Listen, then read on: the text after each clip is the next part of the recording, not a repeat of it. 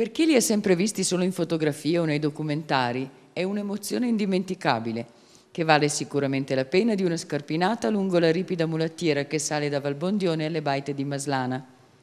Parliamo dell'incontro ravvicinato con il numeroso branco di Stambecchi che in primavera sceglie l'erba nuova di questa zona per il suo pascolo serale. È un fenomeno abbastanza comune e diciamo originale della Valbondione e di Maslana in particolare. Gli stambecchi eh, arrivano qua, fa, compiono la loro transumanza verso il fine dicembre, inizio gennaio e stazionano qui alle baiti di Maslana per 5-6 mesi. Come possiamo vedere alla fine di maggio sono qua ancora e vi resteranno verosimilmente ancora per una settimana, 15 giorni. È comunque legato alla permanenza della neve in quota, la loro presenza qua.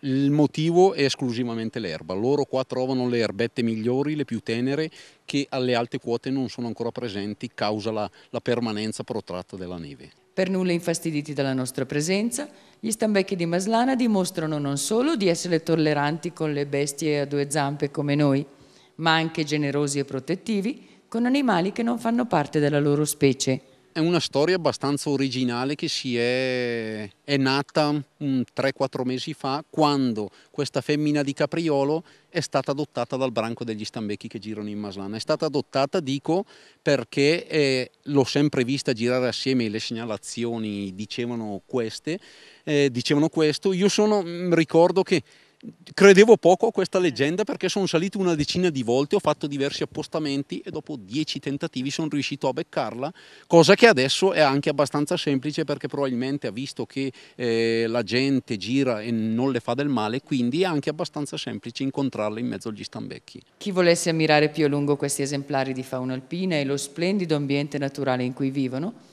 potrà seguire lo speciale che la nostra emittente dedicherà loro in una delle prossime puntate di Bergamasca ieri e oggi.